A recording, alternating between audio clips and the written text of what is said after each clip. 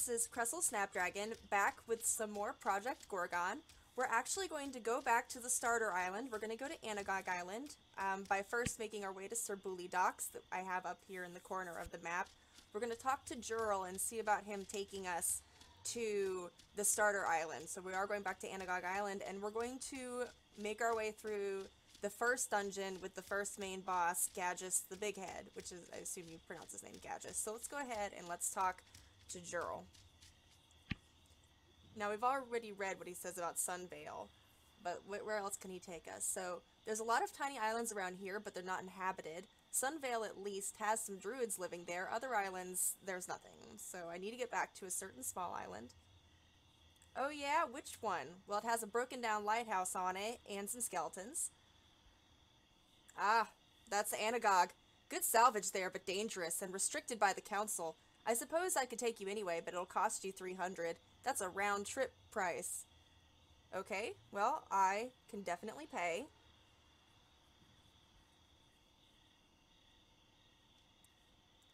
There's a magic bell on the dock. When you want me to pick you up, ring it. I'll hear it. I don't know how, but I will. It's really creepy. Alright, so we're back on Anagoge Island, and we've already entered the Anagoge Records facility. The entrance to the facility is on the very back of the mountain that the lighthouse sits on.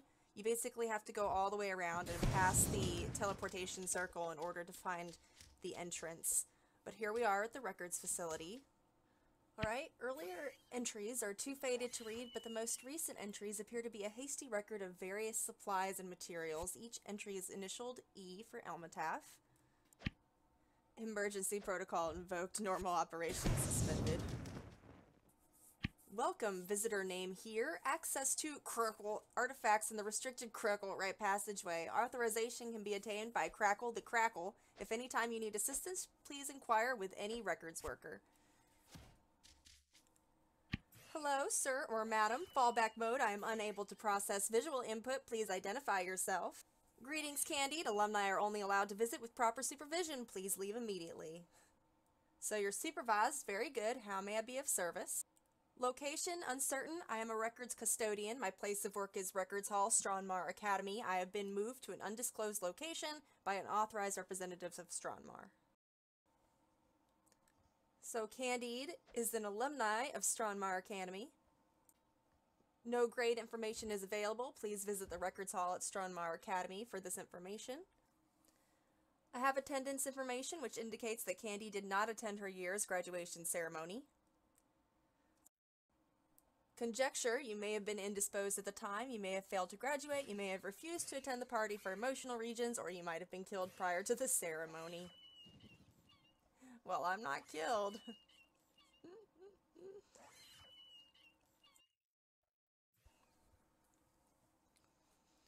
okay, well let's keep going. Let's talk to this guy. Wubbada hubbada woobity goobity goo. He's he's kinda kinda broken guys.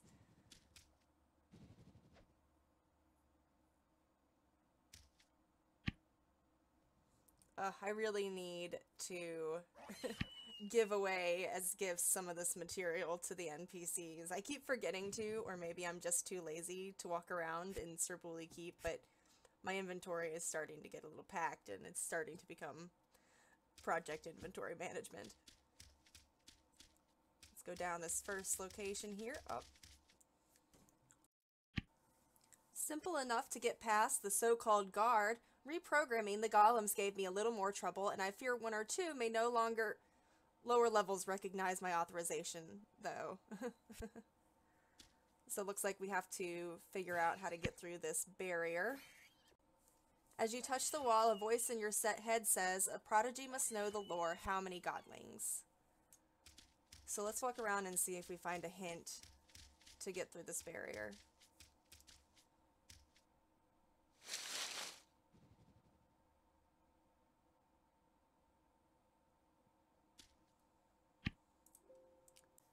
The journals were written by someone named Elmataf, who proctored some sort of test for many years.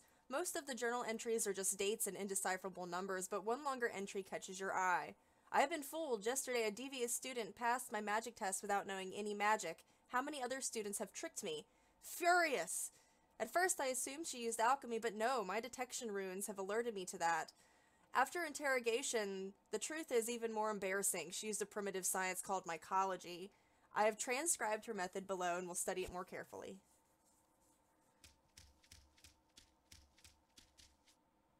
Let's keep looking around here. Whereas human children were often taught the simple mnemonic 20 godlings in the ground, 20 more in air surround, one was killed in demon fire, two were banished to the mire. The logic behind the couplet no longer makes sense due to the recent changes, but the addition and subtraction at least provides the correct number of gods. Most council citizens can name a dozen common gods, but the majority of them are too minor to be well known, or are most active on other continents. So that means the answer to opening the barrier should be 37. I believe, right? 40 minus 3, 37 is going to be the answer to opening that barrier. So let's go ahead and see about getting through.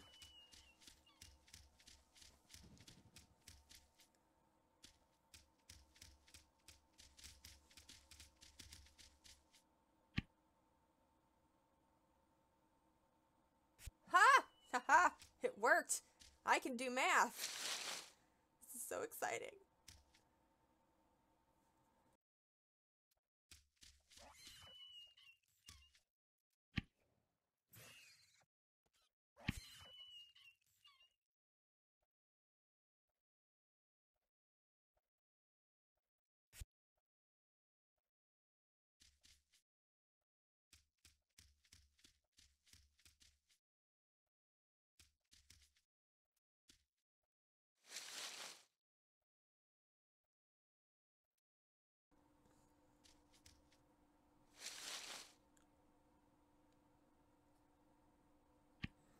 Although it is dead now, this tree apparently grew here, straight out of the basement floor. A flurry of snow whips continuously around the upper branches.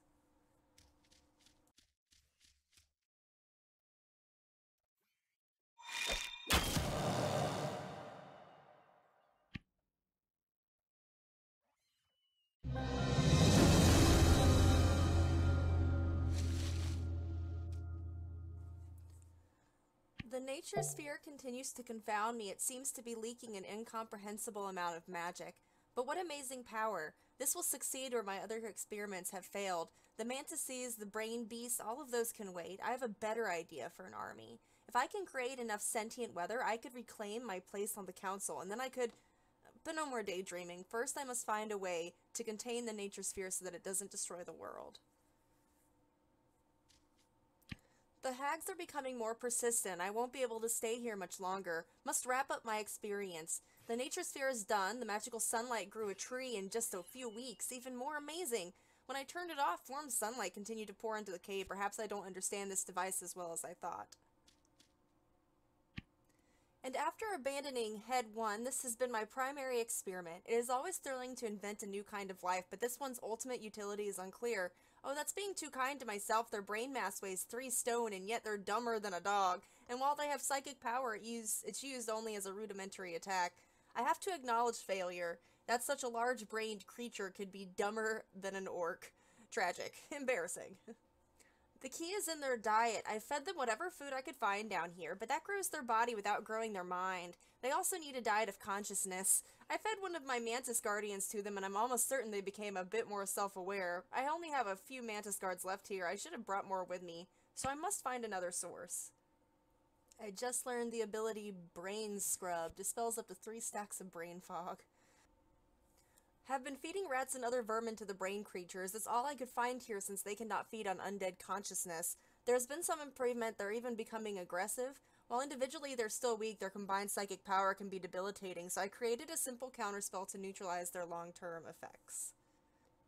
Animals are clearly not sufficient mental prey. They need smarter food. I'm declaring these brain creatures to be another failed experiment for now. I must leave, but I am releasing the strongest of the brain bugs into the caves below so that they can grow and perhaps thrive. I will come and find their offspring when I have a supply of smarter creatures to feed them.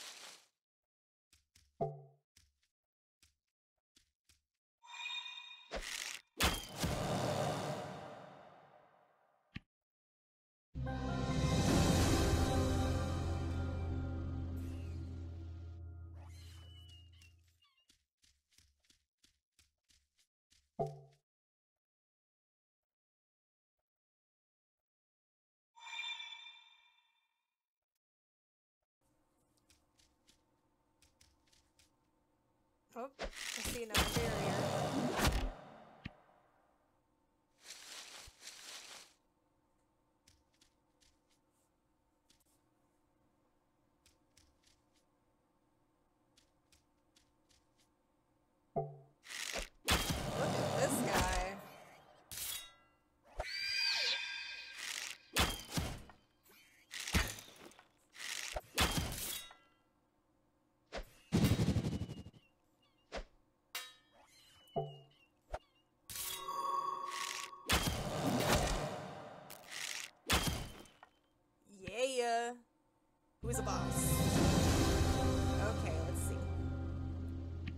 As you touch the wall, a voice in your head says, A prodigy must spread light wherever they go.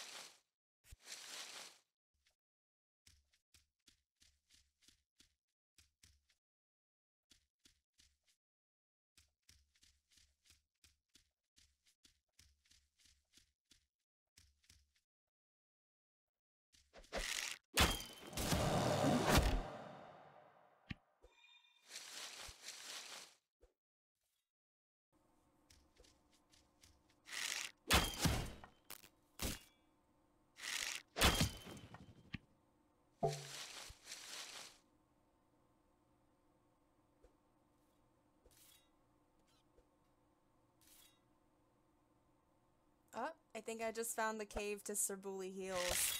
Wow, that, sounded really southern. So I think if you go through this cave, you'll end up in Serbule Hills. And that's, of course, one way to come back to Anagoge Island if you ever need to without taking the boat. We, however, are not going to go back to Serbule Hills because we're going to go and uh, fight Gadgis the Big Head before we go anywhere.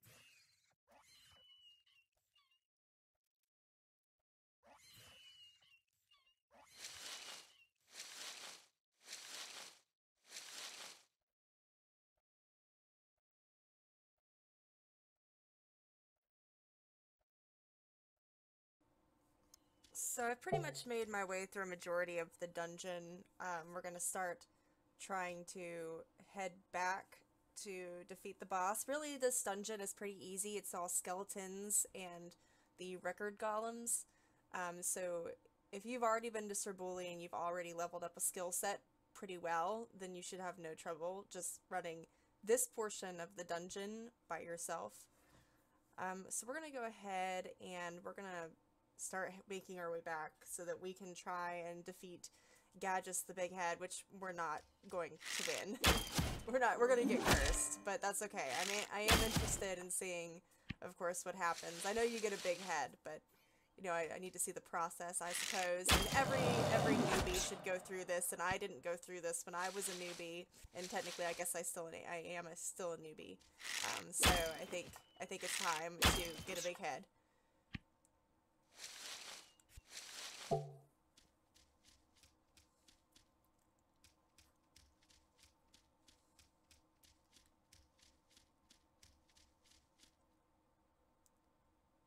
Brain bugs.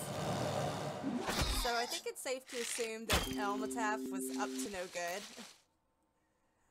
or he may be up to good, but it's in a chaotic good sort of way, maybe? I don't know. He said something about the nature sphere destroying the entire world, and he doesn't want that to happen.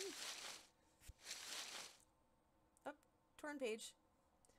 The small rooms are perfect for early selection and breeding. Appropriating the lab here was an excellent idea. I've also fashioned some old grades into breeding pens, but I fear they are not secure enough for long-term use. Ew, he's trying to breed the brain bugs. Ugh. Oh my god, did you guys just hear the sound it made? Wait.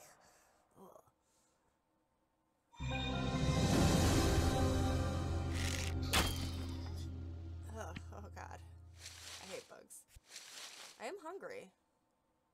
Apparently killing brain bugs makes a person hungry.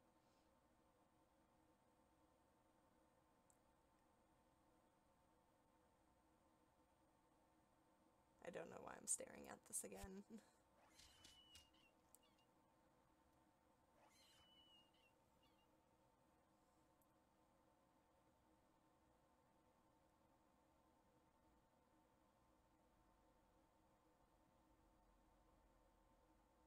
one second, guys. Okay. I'm ready.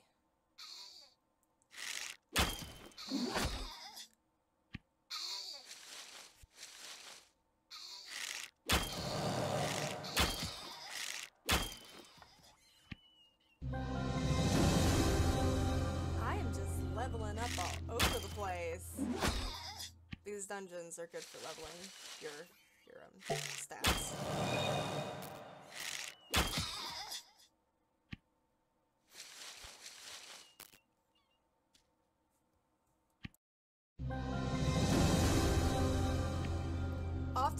Mycology and alchemy because they both use mushrooms, but here's the rule of thumb. If it's just mushrooms, it's mycology. If it involves combining a lot of things into a potion, it's alchemy.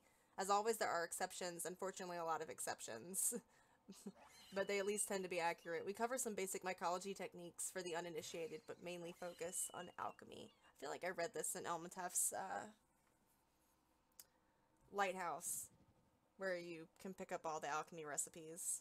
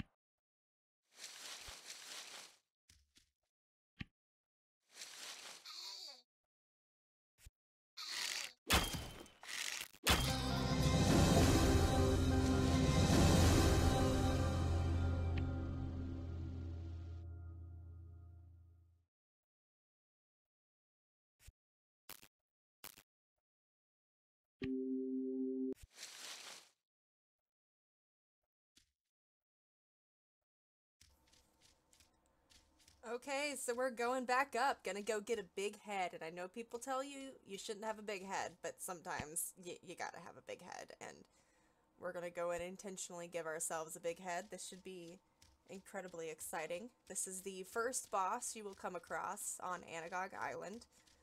And I haven't actually passed the barrier before um, to see what he looks like. There he is. Oh, look.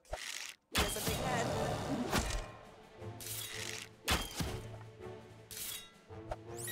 I'm not making a dent in his life.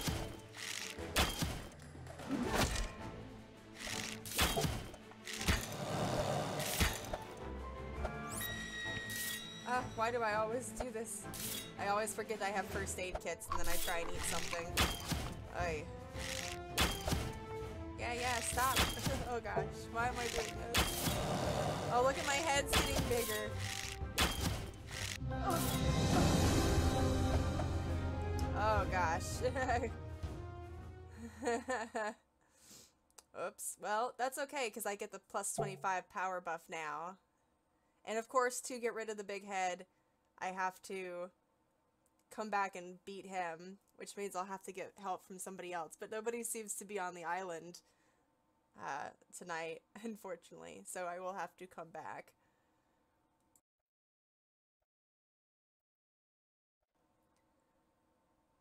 Now, I did uh, finally get somebody to help me. This is the next day. I had to, to wait a little while because no one appeared to be online at a certain time, so this person is going to help me take down the boss. I'm still cursed right now, and so obviously I have to defeat the boss in order to get rid of this curse. Oh, there's the danger warning.